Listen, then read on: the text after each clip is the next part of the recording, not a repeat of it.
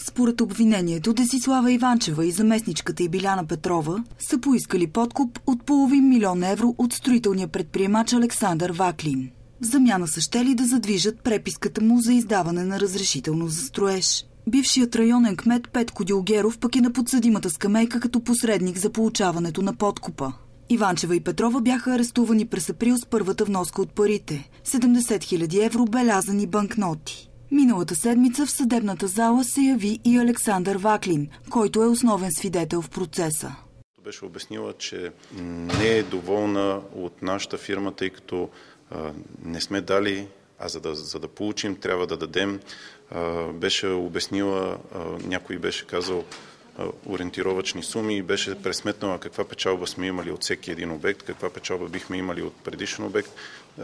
Разговорите са протичали горе-долу като разговора, когато ви спре лош катаджи и ви каже ще пишем ли.